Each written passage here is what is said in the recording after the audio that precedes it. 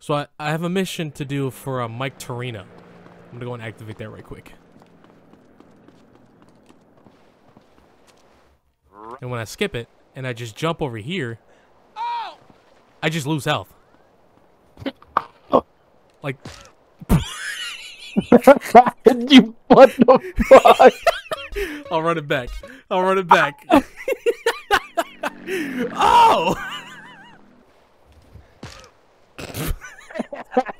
Hey, he, he didn't even just lose health that time. He just fucking outright Just- died. Yeah. Is it dangerous outside of the mission, or Oh, let's see. Let's see. like go and see if it's just that railing, or if it's like mission specific? what the fuck?